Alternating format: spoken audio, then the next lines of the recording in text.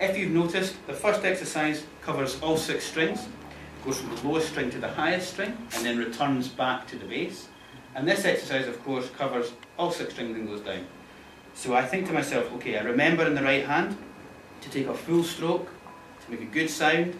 I remember that in this, I want to dampen on the D, then let the fingers free to pluck, and then put the fingers back down as a unit, and feel free to pluck. And I'm balancing the right hand, I'm calibrating it, I'm making it know it can rest, it can be active, it can support.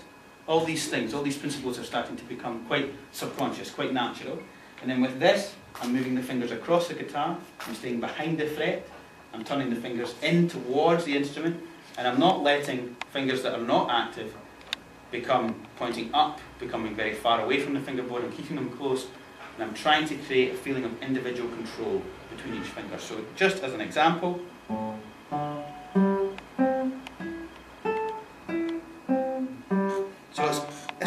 staccato, but it's very just precise, quite short. Look at my other fingers, two, three, and four, pointing in towards the guitar. In the right hand, the fingers dampen when the thumb plays. When the thumb is playing, the fingers are there. It's vice versa. There's control. And then I'll maybe change to the two. Same deal when I change to the two.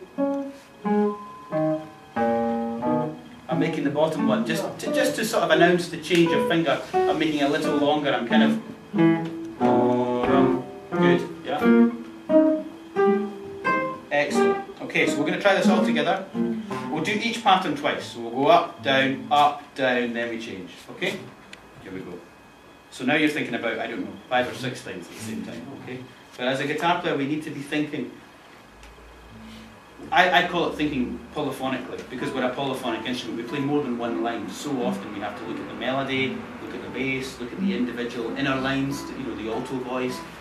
So we have to create this idea from the word go of thinking more than one way. Yeah, we're not just playing one single line of music.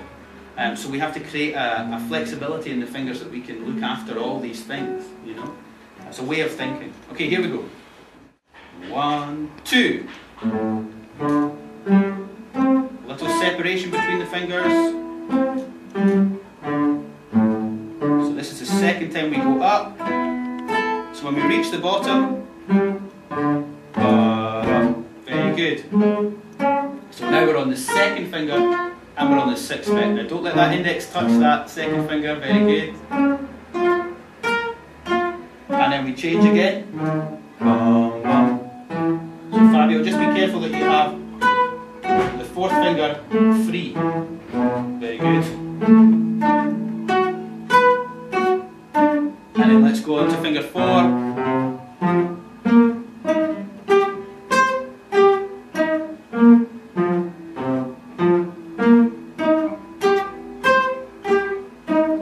Okay, let's stop there.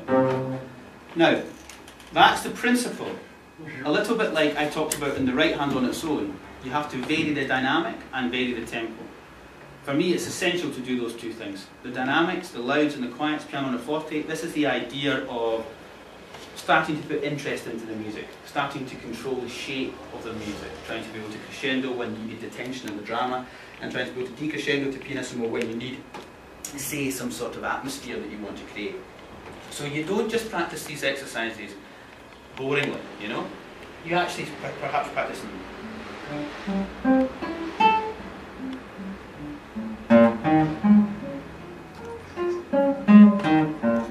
sometimes varying, sometimes crescendoing to the top of the guitar, the high, the high point, and decrescendoing to the bass, and then reversing that, okay?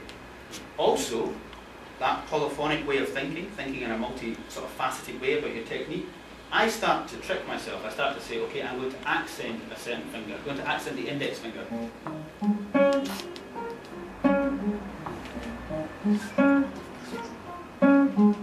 Might accent the ring finger. Something like that, just to, just to start to say, okay, I have really good individual control of my fingers. I can ask one finger to play louder when I want. Maybe I'm trying to play the bass of something quite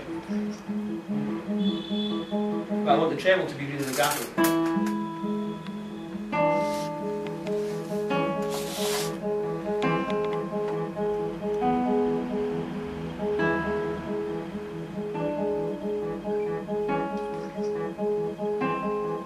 This idea of a, of a very legato phrase at the top line and a staccato bass. So I would practice.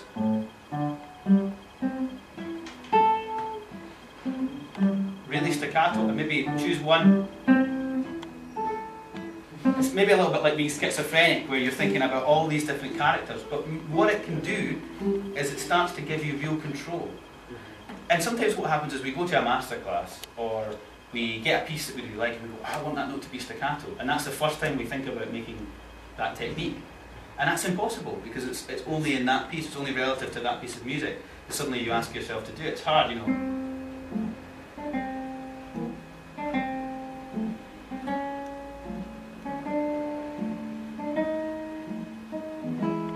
So I'm just making this line really, really short, but keeping the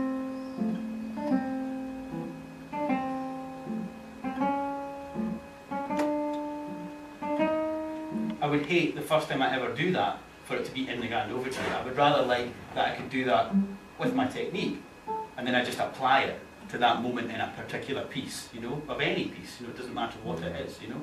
Um, so it's varying this technical idea which is really important. Okay, so that was basically an individual warm-up for the right hand, an individual warm-up for the left hand, but very simple, but with all these musical ideas and control ideas. So before we go on to the next thing, does anyone have any questions about that, or any anything that they'd like me to clarify about it, or just or anything? Any questions about it? Domanda. Eh, quindi questa tecnica giornal- giornalmente almeno, almeno See, uh, uh, if it's possible, if it's possible to do it every day, I would lie to you. No, it is possible. It is possible. It is possible. it is possible to do it every day. Absolutely, absolutely right. And this is a principle you have in your head. The problem is that we like playing pieces. don't We like playing pieces. Uh, the technique is not so. I find it enjoyable, right? If I'm honest with you, I kind of find technique enjoyable. Now, maybe I'm a bit boring. okay, maybe I'm weird, right? But I quite like technique. I kind of find it fun, you know? Um, I think if you sit all day and you go like this, this, is boring. But if you go,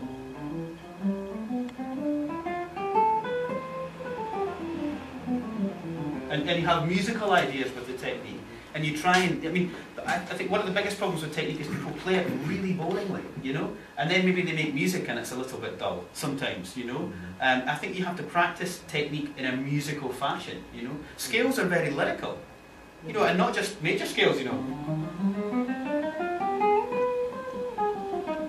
Minor scales are really super musical, they're super lyrical. Um, so I think you have to think of them as as little musical ideas, little musical gems, and you have to, to, to, to vary the, like I say, the dynamic, the tempo, the articulation, staccato, legato, all these things.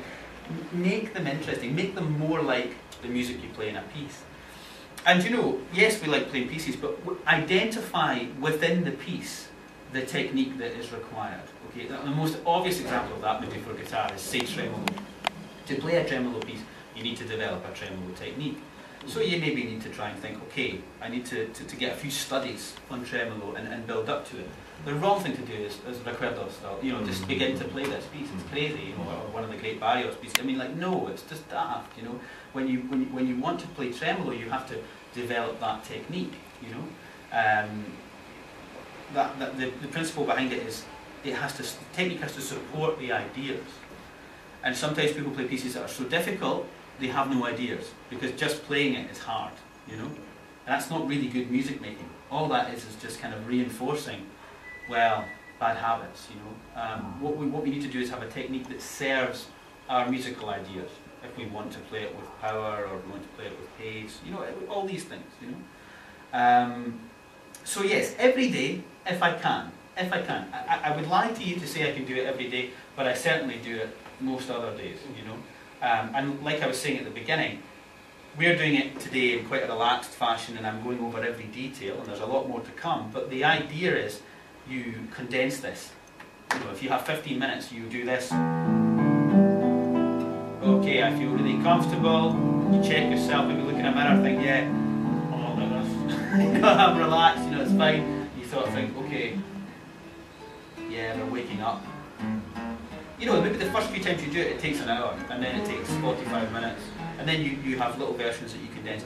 But I sometimes do just cup of tea, cup of coffee, when I don't have a concert, I'm at home and I have plenty of time, and I just sit and, you know, you can do it with the television on. I'm not saying don't concentrate on what you're doing, but you know, once it becomes a little bit more automatic, you could have a newspaper, you know, and you could, oh, Messi, 60 goals for Barcelona, fantastic, what a player, you know, something like this, but you know, or something, but you know. Um, and don't do it with anyone else in the room because it's terribly boring. you know, you know, you know.